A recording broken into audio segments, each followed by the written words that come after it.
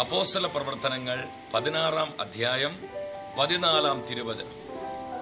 പൗലോസ് പറഞ്ഞ കാര്യങ്ങൾ സ്വീകരിക്കാൻ ലിതിയാടെ ഹൃദയത്തെ കർത്താവ് തുറന്നു. കർത്താവ് ഹൃദയം തുറന്നെങ്കിൽ മാത്രമാണ് രക്ഷ സ്വീകരിക്കുവാൻ നമുക്ക് കഴിയുന്നത്. നമ്മുടെ ഹൃദയങ്ങളെ തുറക്കുവാനായി നമ്മൾ കർത്താവിനെ അനുവദിക്കണം. അനുദിന ജീവിതത്തിൽ രക്ഷയുടെ അനുഭവത്തിൽ വളരുവാൻ നമുക്ക് ഒരുമിച്ച് പ്രാർത്ഥിക്കാം. പുണ്യ കർത്താവെ അവിടുത്തെ പരിശുദ്ധമായ നാമത്തിൽ ഞങ്ങൾ പ്രാർത്ഥിക്കുകയാണ്.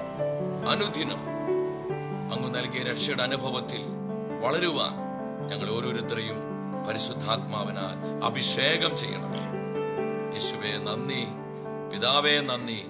പരിശുദ്ധാത്മാവേ നന്ദി. ഈ വചനത്താൽ നമ്മെ ഓരോരുത്തരെയും കർത്താവ് സമൃദ്ധമായി അനുഗ്രഹിക്കട്ടെ.